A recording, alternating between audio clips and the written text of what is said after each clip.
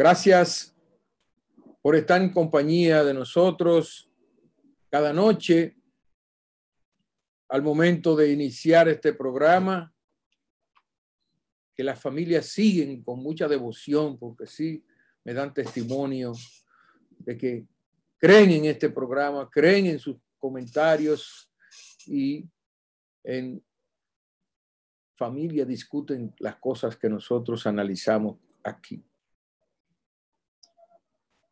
Quiero irme a Chile, donde un plebiscito nacional acaba de aprobar la modificación de la constitución del dictador Augusto Pinochet que realmente ya no representaba los intereses de los chilenos, sino de una élite muy pequeña que hundió al país hace un año atrás en graves protestas que causaron mucho dolor a Chile, muertes, destrucción en las calles, protagonizadas por la clase media. No fueron los pobres los que salieron a protestar. No fueron los de abajo. Fue la clase media y usted puede buscar los videos y chequear la vestimenta, el, el estilo a leguas de personas acomodadas que asumieron las calles de Chile en señal de protesta contra las desigualdades. Pienso que este es un modelo de trabajo de la calle y el gobierno que debe ser respetado, que debe ser imitado por América Latina. Todos sabemos que Pinochet impuso un sistema neoliberal que en sus años de gloria hicieron vender como la salvación de la economía chilena. Milton Friedman, el economista norteamericano que recomendó a Richard Nixon cambiar la paridad del dólar con el oro y que es el maestro del pensamiento neoliberal, era elogiado por mucha gente que decía, miren a Pinochet, el malo, haciendo una economía mejor que Salvador Allende, mejor que todos los países de América Latina, porque Chile creció durante la etapa de Pinochet y se estabilizó arriba. Hubo una etapa de florecimiento que parecía haber descubierto la salvación de su país, pero no era así. Era todo lo contrario, era un proceso de acumulación arriba y de exprimir abajo a los más débiles, sacarle el último peso del bolsillo, pagarle salarios malos y hacer que la sociedad se tensara mucho más, se volviera más injusta, más inhumana. Entonces, ahora, después que estalló la crisis, los seguidores del neoliberalismo chileno guardan silencio. No se atreven a sacar la cabeza.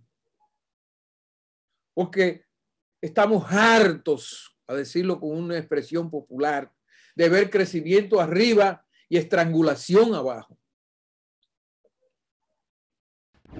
La clase media sufriendo lo peor, porque la clase media necesita tener más confort.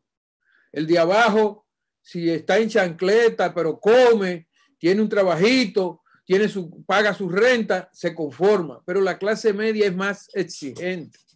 La clase media es más confort, necesita un carro, necesita tener una casa, necesita tener un buen, una buena vestimenta, andar con buenos zapatos, con buena ropa, porque le exige más, porque es el profesor universitario que es un modelo en la universidad.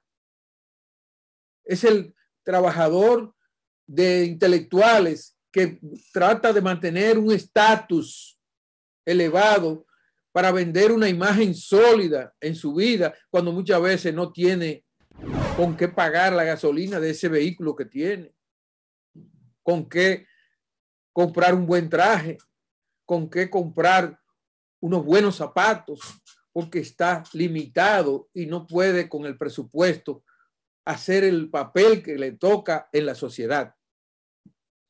Las clases sociales son así, son exigentes con sus demandas. Entonces, en Chile lo que pasó fue que esa clase media, esos médicos, esos abogados, esos periodistas, esos profesores, esos profesionales se vieron sin dinero, pero más que sin dinero, se vieron aplastados por un sistema que no les remediaba ni siquiera una pensión justa. Y se dieron cuenta a tiempo que le estaban retirando para la muerte, que lo estaban retirando para que se murieran de hambre y de enfermedades y que no tenían una pensión justa y que eso había que denunciarlo. Cuando tocaron esa tecla, el país entero se tiró a la calle. Ya ustedes vieron la quema del metro de Chile. Ya ustedes vieron la quema de la Universidad de Chile. Ya ustedes vieron los destrozos más increíbles en las calles de Chile por semanas y el, y el presidente Piñeira haciendo llamados y llamados a la calma, a la paz, a la tranquilidad y el pueblo sin control. Una poblada que dejó muchos muertos y muchos heridos y una sociedad más dividida, pero más fortalecida en sus demandas, en sus necesidades de denunciar la corrupción, la impunidad y los privilegios irritantes. Ahora se acaba de aprobar ese plebiscito que fue el producto de esa lucha y hoy tenemos a Chile preparándose para empezar a rehacer su constitución por mandato popular. Eso es lo que se llama democracia. Eso es lo que se llama democracia participativa. Hay que oír a los pueblos que ahora se convocan fácil por las redes sociales, por los celulares.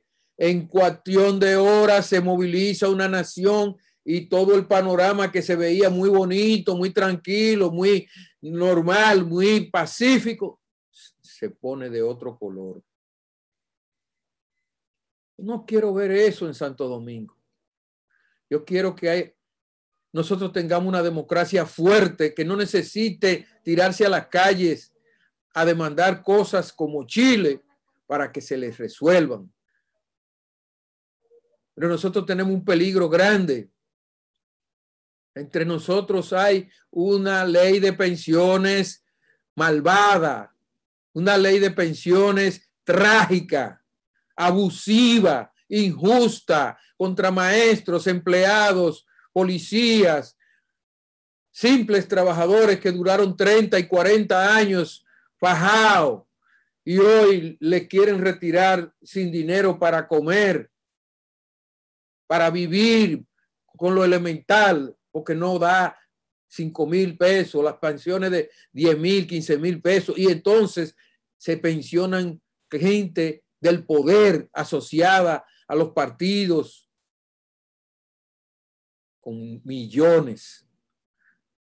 El que sale de una posición de ministro, el que sale de una posición del gobierno y tiene influencia, aunque no sea ministro, puede recibir una pensión en Santo Domingo tranquilamente de más de 100 mil pesos mensuales y ya se retiró ahí contento, tranquilo. Pero eso, ¿a quién se lo dan? A los profesores, jamás. A los policías, rasos, sargentos, jamás. A los guardias de teniente para abajo, jamás. Todo eso son pensiones de pobre.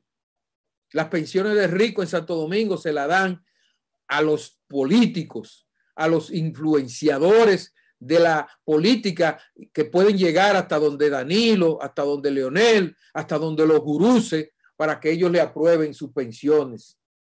Entonces estoy mirando que ese va a ser un motivo de protestas. Ahí están las AFP que no han querido ceder el 30% por adelantado en esta crisis que tienen más de 500 mil millones de pesos acumulados y que se lo están repartiendo seis compañías y dándoselo en pensiones a los que menos se la merecen. Entonces estoy mirando otro Chile en Santo Domingo. Estamos engendrando otro Chile en Santo Domingo. Ah, pero hoy estamos a dos meses del gobierno nuevo. No, hay una acumulación de 60 años de pensiones injustas es más, no habían pensiones antes de los últimos 20 años. Fue el PLD que las impuso. La ley de pensiones. Tuvo el acierto de hacerlo el PLD, pero tuvo el desacierto de distribuirla en una ley abusadora, en una ley abusiva, en una ley perversa, en una ley de élites. Entonces ahí está el, la gran trampa que ellos fueron los autores de la solución, pero también los creadores del problema social de injusticia desde una ley. Quiero que se mire hacia Chile con respeto, con tiempo, que el gobierno de Luis Abinader, que acaba de entrar, que tiene en sus manos muchas buenas intenciones, que quiere hacer las cosas diferentes, que ponga el foco a tiempo en las pensiones, que el Congreso cree una comisión de revisión de esas leyes arbitrarias, injustas, que le están dando mucho dinero a gente que tiene y le están quitando al que no tiene nada y eso va a irritar a la clase media y a los pobres. Y el dominicano no es pendejo. El dominicano cuando hay que pelear ha demostrado que sabe desafiar imperios y que se, regó como se regó en el 84 contra Jorge Blanco o en abril del 65 contra la intervención de Estados Unidos, hay problemas. No jueguen con candela y miren la paz de hoy con los ojos de la violencia de mañana si no se hacen las cosas bien hechas. Éxito, señor presidente. Escuche nuestros reclamos con pasión, de verdad, asumido, con sinceridad, con el objetivo de hacer paz, no guerra. Hasta la próxima.